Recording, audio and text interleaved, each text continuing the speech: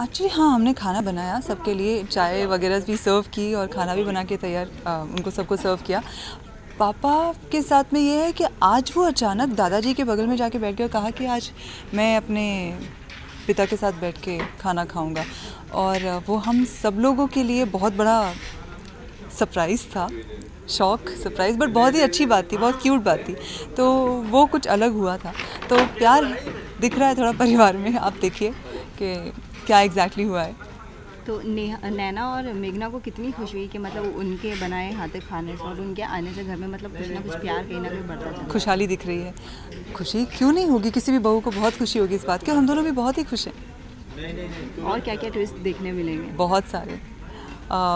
entertainment में entertainment का तड़का तो लगता ही रहेगा डेली के एपिसोड्स में आप देखते रहिए मिस मत कीजिए बहुत कुछ आने वाला है अभी भी